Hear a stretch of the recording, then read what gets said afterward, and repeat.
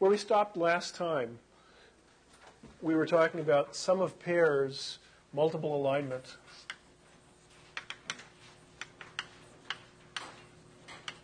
And in particular, we were talking about various method, methods called progressive alignment, where progressive, in progressive alignment, uh, you would have under, underneath the algorithm somehow some kind of tree where uh, the number of nodes in the tree was equal to the number of sequences you're trying to align, and each sequence labeled one node in the tree, and then the uh, multiple alignment that was constructed was consistent with that particular tree.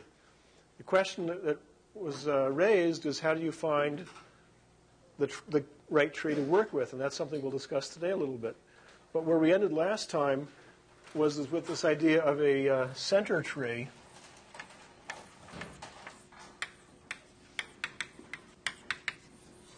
And what you put in the center is the only variable. Since, since this tree is a star, uh, the only issue is what's the, what sequence is at the center, and therefore which of the ones are at the outside. And what we put at the center was the sequence that minimizes summation d ij. So it's the sequence Si. So its summed difference, its sum distance to each of the other sequences is the smallest overall. And you want to think geometrically, uh, you know, if you have a set of points in the plane here somehow, and you think about the distance, you pick a particular point and you think of its distance to everybody else and you sum that up, and another point and you sum that up. Geometrically, which is the one that's going to look, uh, have the smallest sum? It's going to be somehow somebody sort of in the middle here. I don't know, between these two, which two is going to look, have the smallest sum. That's sort of what's going on in this thing. If you think of these distances geometrically, then um, the summation of the distance between SI and everybody else, if that's smaller than, than any other uh, such sum, then it's kind of a central represent, representative. It's sometimes called a median string or a central string. At any rate, that's, that's the tree that we looked at last time. And the nice feature of that tree is that you can actually prove that under the sum of pairs objective function, what you get out of the alignment that's consistent with the center star or center tree, that's represented here. That's summation of the induced alignment between every pair. And you divide that by something you know no multiple alignment can do better than this. Whether any multiple alignment can even do as well as this is not clear but certainly no multiple alignment can ever do as well, can do, ever do better than this. So if this ratio is relatively small, that's a good thing. It, it says that the induced alignment, which was something that was practical to compute, was not too far off what uh, would be the optimal, because the optimal somewhere has a, has a total score somewhere between this one and this one. And what you can prove is that this ratio is less than or equal to 2 minus 2 over k, where k is the number of sequences. And um, whenever you see something like this, you should always, I always, at least look at the degenerate ends of these things, just to see that you, this passes some kind of sanity test. The most degenerate end of this is when k equals 2, right? Actually, when k equals 1, I guess, is even more degenerate. All right? So when k equals 1, this is 2 minus 2, that's 0. That's 2 degenerate. When k equals 2, this is 2 minus 1, which is 1. All right? And does that make sense in this context? You have to see, does this pass the sanity test? Does this, does this make sense? What is this saying? Uh, if you only have two sequences, then the ratio of this to this is less than or equal to 1, well, of course, we always know it's greater than or equal to 1, so it's got to be equal to 1. And is that sensible for the algorithm? Does the algorithm really seem like it's always going to do that well? Well, what does it do when there are only two sequences? The tree is like this. Okay, one's the center, and I mean the other one's the center too. It does the pairwise alignment here. That's its multiple alignment of those two sequences. And so, of course, the pairwise alignment is the best, is as good as any pairwise. I mean, the optimal pairwise alignment, which is the first step of the of this algorithm, is as good as the optimal pairwise alignment because that's what it just did. It computed the optimal pairwise alignment and stopped. Okay, so at any rate, when k equals 2, this is fine. And when k is huge, this thing is close to 2. So what this is saying is that um, even though we're not guaranteed to be the best possible multiple alignment under the sum of pairs objective function, we're never, um, this ratio is never more than 2.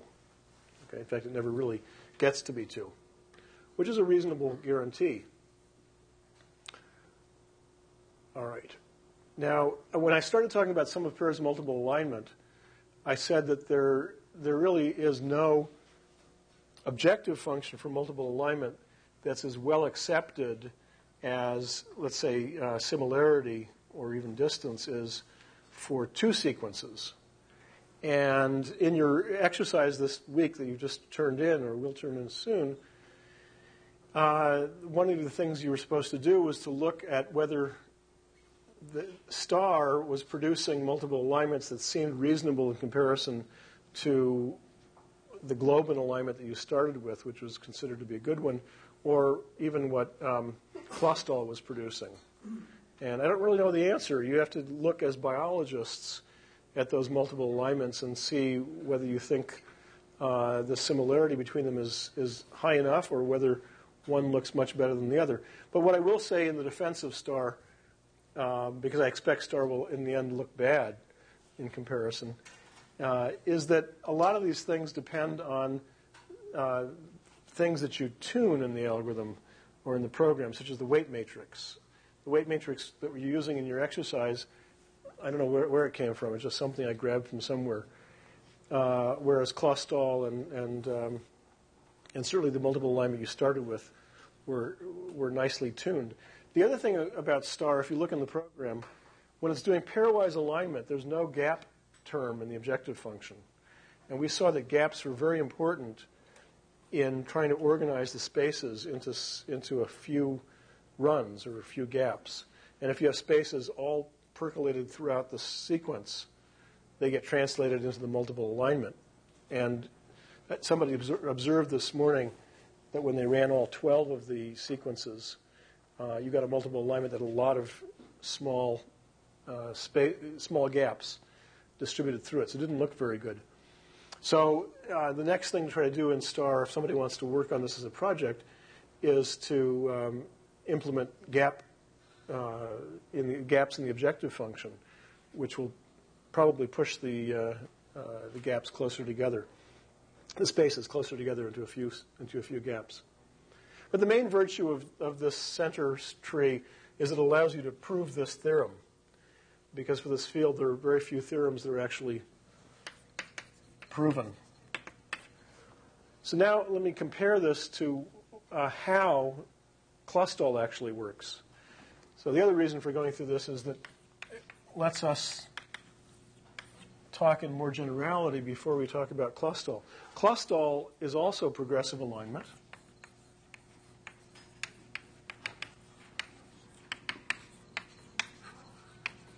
And it also uses a tree. It builds a tree, and then it builds a multiple alignment consistent with that tree. So it follows exactly the same paradigm that we've been talking about. And then it has, I don't know, umpteen many thousand lines of code of fiddling. So we're not going to tell you about fiddling. I'm not going to tell you about fiddling because you know, there's always something you can do to, to try to clean things up. But in terms of what's principled, what, what the ideas are, uh, it builds a tree, which I'll tell you about, and then it builds a multiple alignment consistent with that tree. Now, just to see who's, who's done their Clustal homework, what does Clustal call their tree? wouldn't necessarily know that. But I mean, if you've been reading Clustal documentation or tutorials or whatever, you might you might have come across it. Now, it's, it's I think it's called a guide tree. So in Clustal, they think of it of building this tree as guiding the multiple alignment that's being built.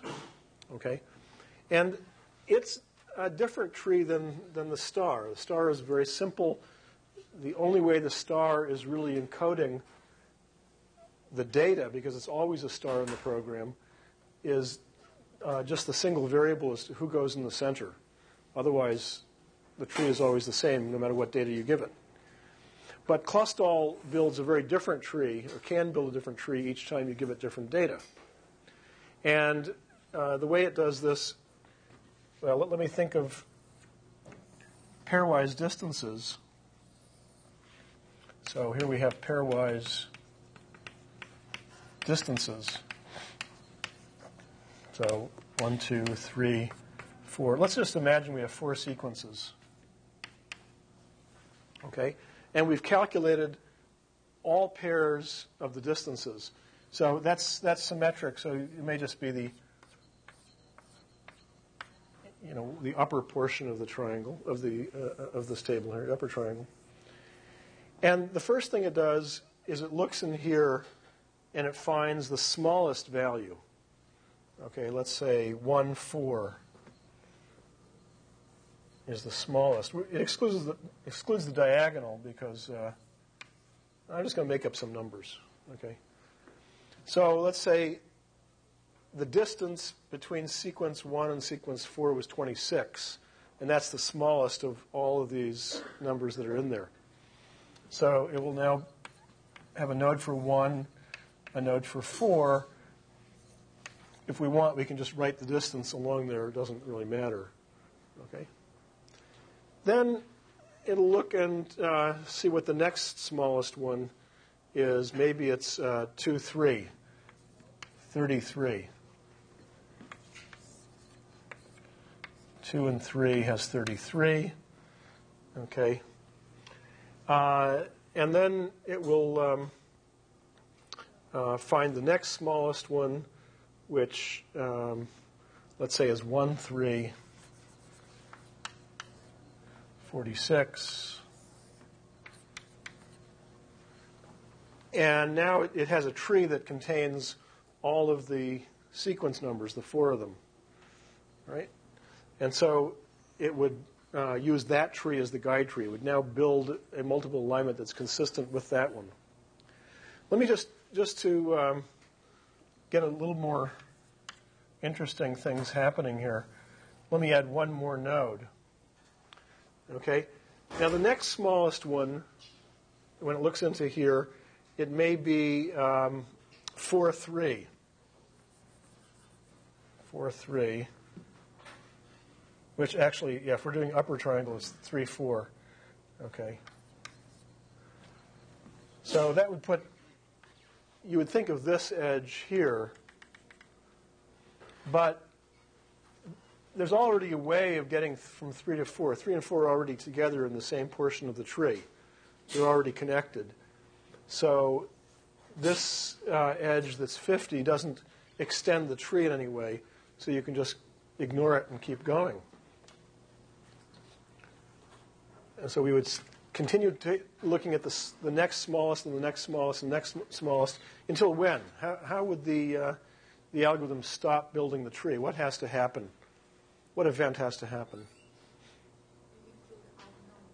You have to add a new node, which in this case is 5. Okay, so let's just say eventually you got uh, 1, 5 uh, at 60. Okay, so you end up with this tree. This is not a real example. I haven't given you real sequences. I'm just showing you, sort of by cartoon, what the process is. So you have um, a tree. Clustal calls it a guide tree. Clustal then builds a multiple alignment that's consistent with that tree. And uh, then once it gets the multiple alignment, it does various things to try to clean it up, which I call fiddling just because there's no principled idea that's easy to communicate as to what it's doing when it's cleaning up the multiple alignment.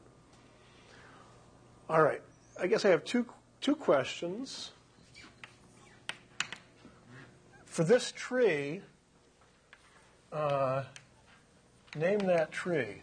I guess that's not really a question, but has anybody seen a name for this kind of a tree? Actually, somebody last Friday suggested this after class.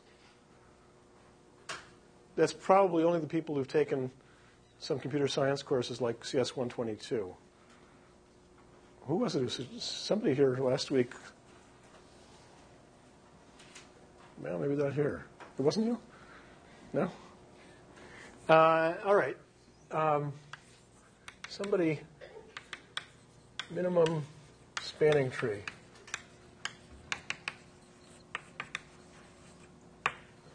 So there is a notion in computer science of if I have a graph where I have every edge in there with some weight, and we don't have the whole data, but if I had if I had all the data here written in here, and then I put an edge in for every pair, and I wrote on that edge the weight that came from here, or the distance that came from here, then this is called, when I have all those edges in there, it's called a complete graph. And there are many, many trees in there, okay, that are subgraphs. If I pick out the tree whose total weight on all the edges, when you sum up the edges, edge weights, total weight is the smallest. That's something called a minimum spanning tree.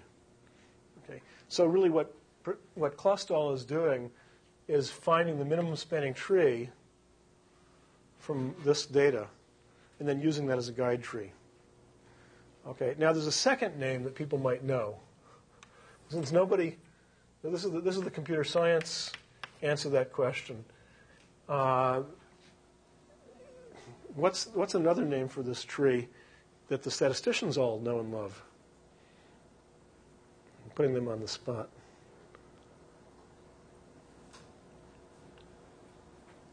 Okay, uh, there's another thing that comes up in.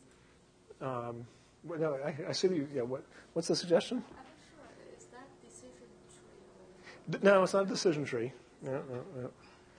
Uh, a what? Clustering? What was what was the word? Uh, I'm not sure. Okay. Anyway, I don't want to be uh, too weird. Um, single link clustering. This is actually more of a process. The tree itself, um, the way the statisticians usually read it, looks different. But there's a process of clustering data to emphasize which is closest to which. And the simplest version of clustering, the simplest clustering algorithm that comes out of statistics is something called single link clustering. And that's building the same tree here as uh, we're doing, the minimum spanning tree. They draw it differently. What they would do in, now if I pretend to be a statistician, I would say, okay, one and four are the closest. One and four. Instead of drawing a line between them, I'll draw it like that. Okay, saying these two are clustered together. They're, they're a very uh, similar cluster. That's 1, 4. And the next one is 2, 3. Okay. And the next one is um, 1, 3. Well, 1's already in a cluster, 3 is already in a cluster, so what it really does is it ties those two clusters together. Okay? And then the next one, uh, next smallest one was 3, 4, but 3, 4 is already together in a cluster. That's not of any use. And then finally 1, 5. 5 is already in a cluster, but 1 is already in a cluster, but 5 is not. And so they would draw their system of clusters that way. This is a, this is a cluster, this is a cluster, and then this is a bigger one. And this is the outcome of single link clustering. But you see, it's making the same choices that we were making when we built the minimum spanning tree. One, four go together, two, three go together, uh, one and three go together, so they got connected, and then finally one and five went together. Um, and so, in fact, I think if you Clustal uh, has an option of looking at their guide tree, and I think if you look at their guide tree, you're going to get something that looks more like this. It looks more like a phylogenetic tree, uh, evolutionary tree, than what uh, I've been drawing. But conceptually, these are all just different ways of thinking about or drawing the same kinds of mathematical objects. mathematically, these are all the same things. And uh, so Clustal is a progressive alignment method. It uses a guide tree of the kind that I've been talking about. It's different than the center tree because of the particular guide tree it uses, and then what it does to clean up the multiple alignment. Uh, and then, of course, in the package, it has all kinds of nice bells and whistles for displaying the multiple alignment with colors and all kinds of stuff. All right, now just think intuitively, by the way. Does, does anybody have any intuitive sense as to which of these two progressive alignment methods should work best?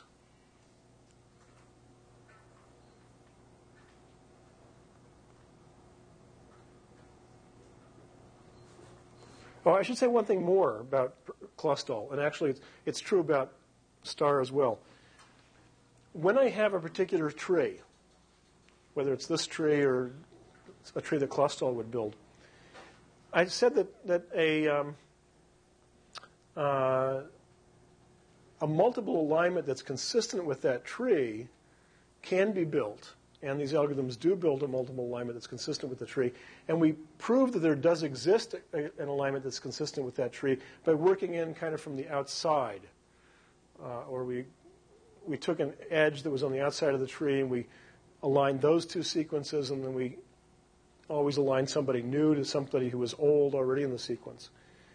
The order in which you add new things into the tree can make a difference in the final outcome of what the multiple alignment is. Okay?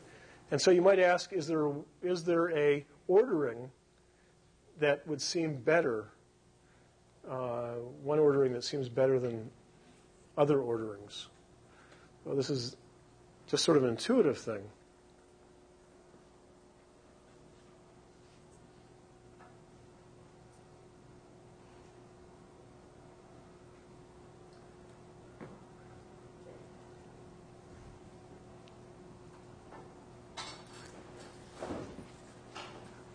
No takers? Okay, so you, again, you have this tree. Let me draw another tree. And I'm going to put the weights, the, the distances on the edges. This was distance 10, 26, uh, 13, um, 17, 29. I'm just making up some numbers. There, is a, there are multiple alignments that are consistent with this tree. I could start here and do this pair, align this pair, and then bring in this one. Or I could have, after I did this one, bring in this one. Or, you know, a variety of different orderings would work. The question is, is, is there an ordering that seems the best to do? Well, Clustal's answer to that question is to always start with the smallest number. The two that are, that are the, the most similar they want to be sure those are aligned. The multiple alignment reflects those guys. Okay? So it would do that one first. And then it has a choice of either doing this one or this one. But it would do this one next because 13 is smaller than 26. And then it would do 17 next. And then it really doesn't matter whether it does. Well, it doesn't. I don't. Well, I think it would probably do the 26 first, and then the 29. So it brings in new sequences in order of these distances, smallest first. Okay? Which seems like a good idea. And I think that, that star is doing the same thing too. When you have the option of running the star, it says, shall we sort? I think what it's doing is um, that's saying when you say yes, you're insisting that you'll bring in the sequences into the multiple alignment in order of their distance from the center. So if this distance here is 5 and this is 16, it will bring this sequence into the multiple alignment by doing this pairwise sequence before it does this pairwise sequence alignment. Okay? So anyway, that's another um, uh, another feature of Clustal. It's important to uh, uh, to remember that. uh, okay. Earlier, before Clustal was invented or before it was written, uh, people who developed the basic idea of progressive multiple alignment, and this is um, R. Doolittle, had a way of describing how it works by saying once a gap, always a gap.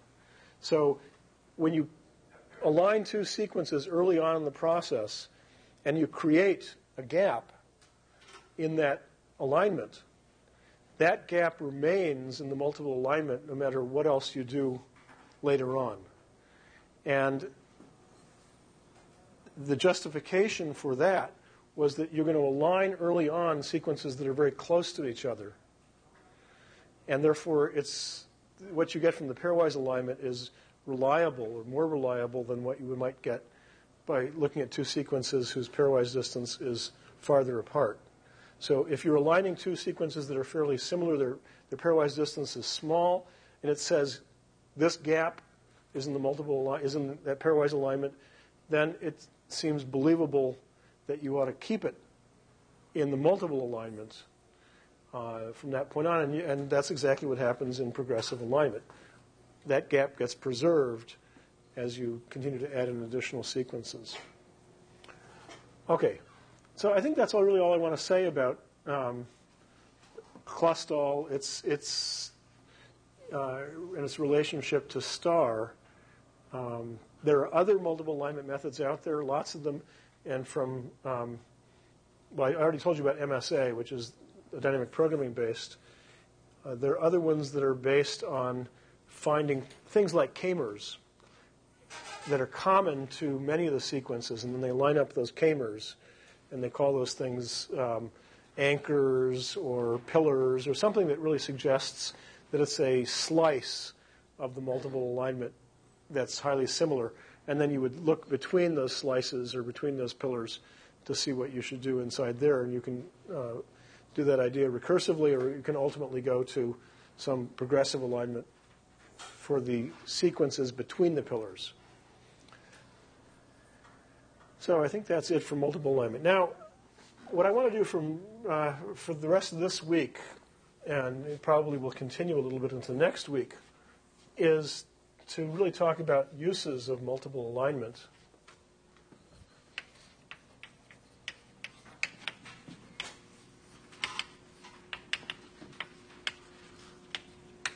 Uh, and now there are many uses of multiple alignment. I'm just going to be talking about things that really uh, impact the kind of sequence analysis that we've been trying to uh, look at in this class. And so these will be things like um,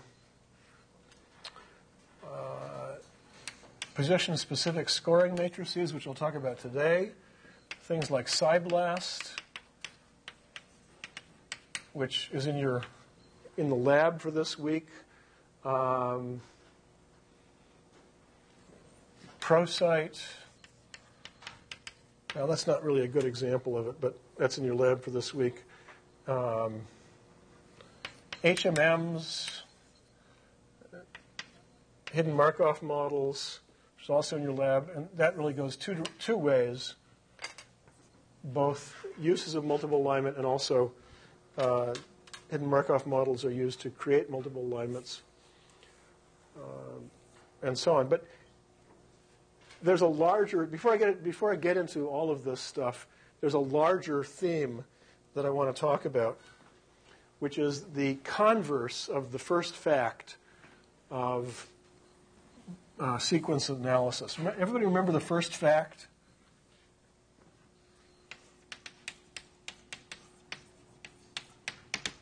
We talked about on the first or second day of the, uh, of the course.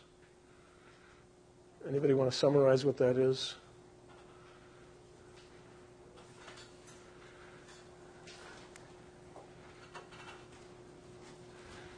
Well, all right. Uh, sequence similarity.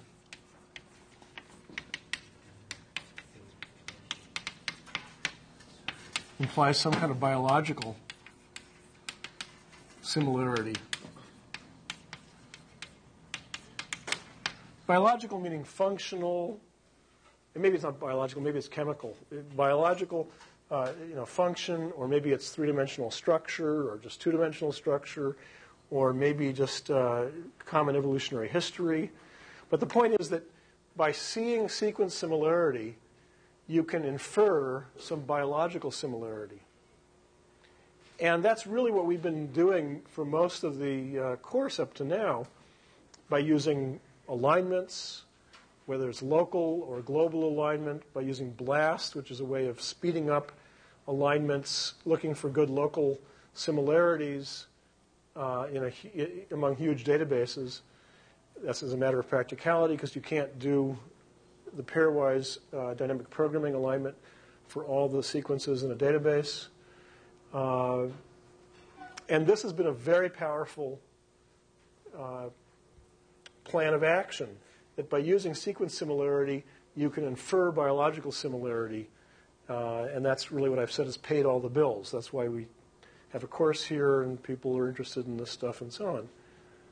But I said that the converse was not true. Okay? Or not anyway strongly true. Not so obviously true that you can just use it in the opposite direction. What would the opposite what is what is the opposite direction I'm talking about? Right. You can just read it backwards. It's not true that when you have biological or chemical similarity, you necessarily have sequence similarity, or that the sequence similarity is so obvious that you just have to do some kind of simple alignment or look at them and say, yeah, of course. Okay? But there is some bio, there is some sequence signal that is usually there or that people believe should be there that they're willing to look for it very deeply. So if you have molecules which are similar or related. So here, similarity, I should say related as well. If you have uh, molecules that are related in some way, by function, by structure, by history, but it's not obvious that their, that their sequence is the same, you want to look much more deeply into those sequences uh, and into the, into the sequences of, of a set of molecules to see if you can find some sequence similarity, some way of extracting some um, reflection of what those are. So that means that we start off here with families related by function, well, by biology or chemistry. Okay?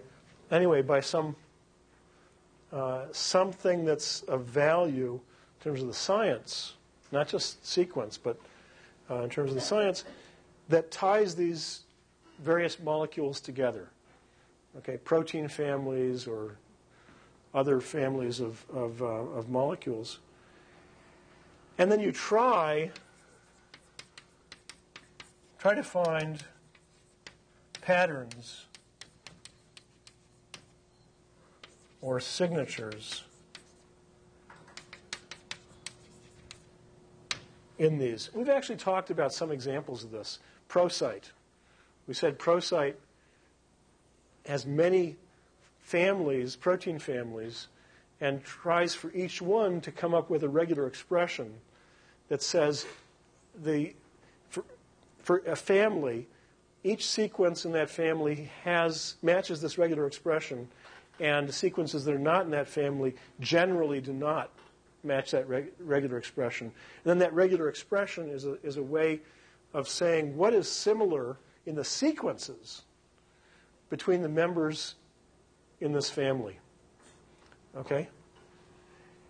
Uh, eMOTIF, there are a whole variety of these things that um, we'll talk a little bit about that are very, very valuable to use in this direction. Okay, well, to have uh, these kind of patterns is very, very useful to have those patterns that tell you what is common, even though it may be very faint. What's common in sequence between these molecules that are in the same family. All right? And how do they get those patterns? How do you take a family that you know is related by biology and pull out the significant similarities? And that's, that's the kind of thing I want to talk about today. How many of you have, have seen the, um, on the Prosite, in today's lab, I told you you should look at a Prosite page on how to optimally develop patterns optimal discovery of prosite patterns. Anybody looked at that yet? Well, that really tells the whole story. Okay, so uh, after I spent a few hours here of explaining how this works, you should look at that one page because it summarizes it all. Uh, but I'll let you I'll t- let you take a look at that. Mostly, what people do, in one way or the other, is some kind of multiple alignment of the, the sequences that are in the family. So you multiply align the sequences in the family in some way, and we have different multiple alignment programs, and therefore we have different ways of doing it. But uh, after you have a multiple alignment of the of the family members, then uh, you do some kind of analysis, principally column wise, to find what portions of that multiple alignment seem to be the most conserved. Where does the multiple alignment look quite variable? And where does it look highly conserved? From the highly conserved portions, then you can define things like patterns, regular expressions, motifs, whatever you want to call those things. And again, people have lots of different ways of doing it, and therefore there are lots of different programs, and there's no one that seems to be best. People continue to experiment, and people continue to try to demonstrate how uh, good their techniques are on particular data sets. There's lots of uh, disagreement about these things. So let me, um, now they're giving you the big picture. The big picture is we want to go this direction. This is a much harder direction to go in than this was. People found sequence similarity implies biological similarity tremendously valuable, relatively easy um, by doing alignment. When it comes to extracting a very weak signal from a family members, that's a much more difficult uh, undertaking. Has not been nearly as successful, but uh, it does uh, exist in many services, many databases where they have done that. They found patterns. Another one is called blocks. Um, they found patterns, they found uh, motifs that can be used to recognize additional members of the family. The whole point of having one of these patterns, the, one of the major points of having one of these patterns or motifs or regular expressions, is so that you can recognize additional members of that family. That is, you have some sequence, uh, protein sequence that you don't know very much about. You've studied protein sequences from yeast and uh, E. coli and Drosophila and salamanders and uh, fish and who knows what else. And now you have uh, one that comes from a zebra or a human, and you want to know is it, is it uh, functionally related to, the, to some family that you already understand?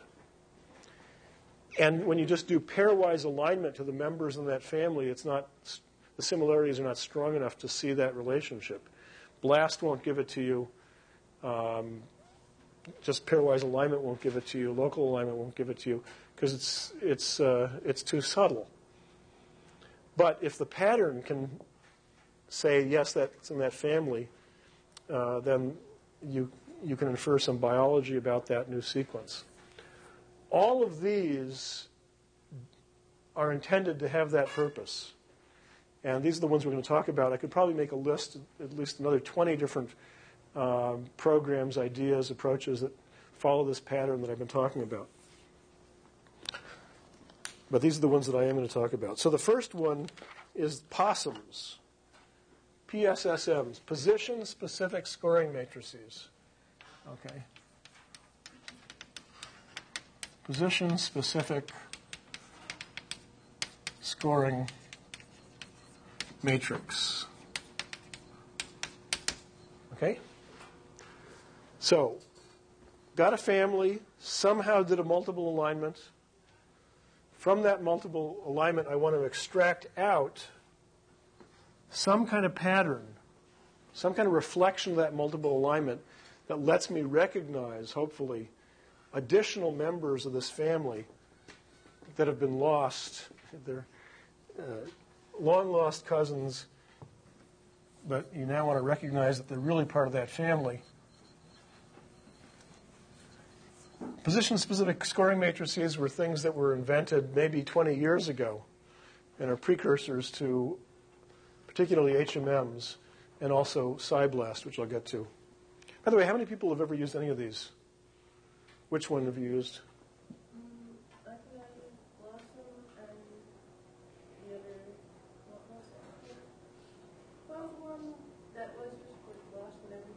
Okay. Any, anybody else? Which? MEME, yes, another, that's another kind of thing that's related to sort of an after multiple alignment. Yeah, we're not going to talk about that in this class, but that's one of the 20 that we're not going to talk about. Anybody else? I guess there, there aren't as many. Uh, uh, the first time I taught this, we had a lot of people in class who were uh, had already been using a lot of these things, but they didn't know how they worked. I guess most most of those people have already had this class at this point. But a lot of people use PSI-BLAST. Sort of PSI-BLAST is the uh, PSI-BLAST and, and PFAM, now Prosite, actually all of these, are really central tools that people use a lot. Okay, so PSSMs are kind of the precursor of all of these, and I want to start talking about that before I talk about the other ones that are more current.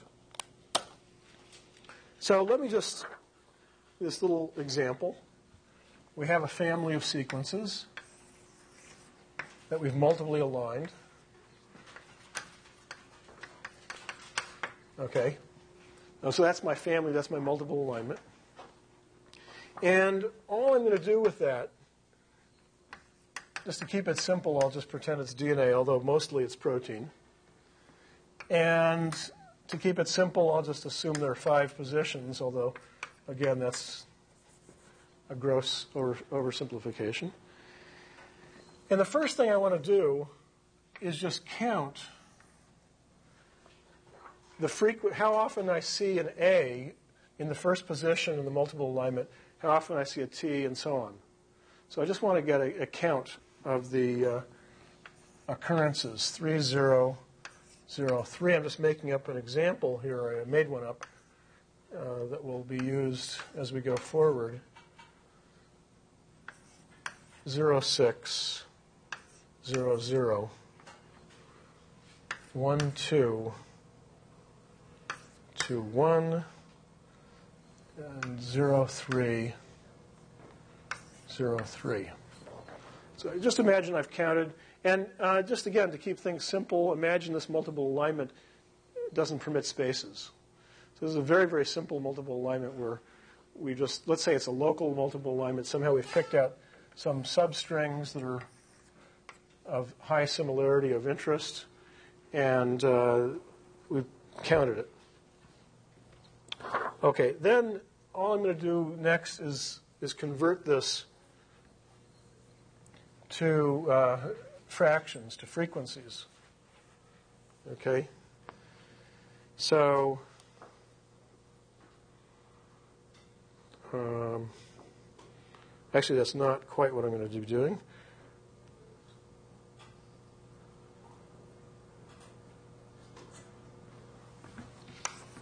ATCG. One, two, three, four. Actually, let me tell you what I do, and then we'll figure out what it must have been. Work backwards.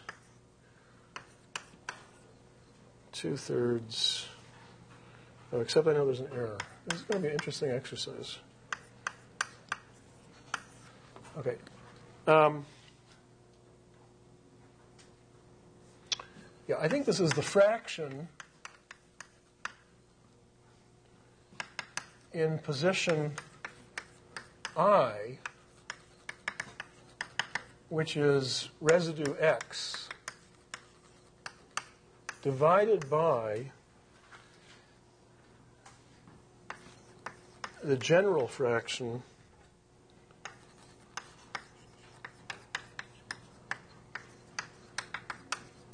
which is x, which I'm going to just take as one fourth. Okay, so let's see if this makes sense. Uh, what fraction is a in this position? It's 3 out of 6. That's a half. Okay? And what fraction is a in general?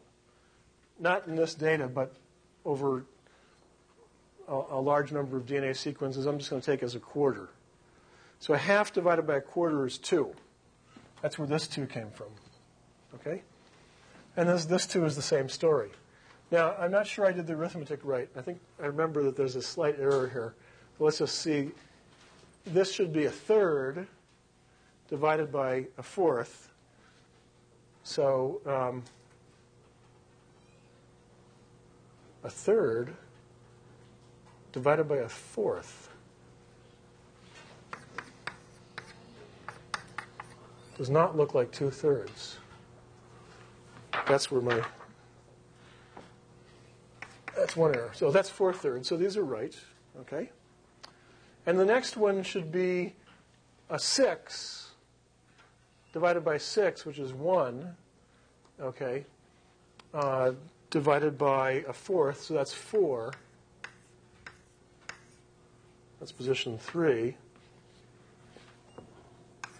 Four, five. Okay. Then we have um, one sixth divided by a fourth. That's four sixths, which is two thirds, right?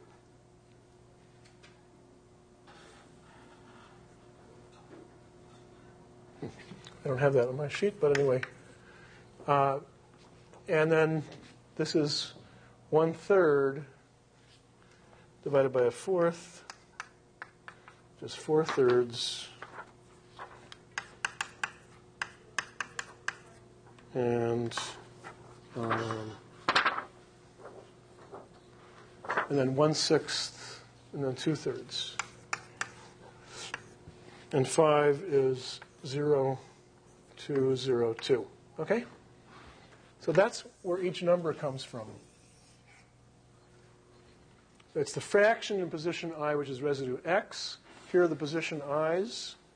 Here are the residues. Divided by the fraction, if this was just random strings, what fraction you would expect there, which is a quarter. Now, can anybody see intuitively why did I take this ratio? What happens is I'm really sort of normalizing by what you'd expect to see at random. And uh, instead, what you're seeing in this specific family. In this specific family, you're seeing very strongly an A or a, a G. Uh, in that position, very weakly a T or a C. Okay, so this is a position-specific scoring matrix. Um, oftentimes, people take the log of these numbers, and I'll explain why they do that next time. But anyway, this is uh, where we'll stop for today.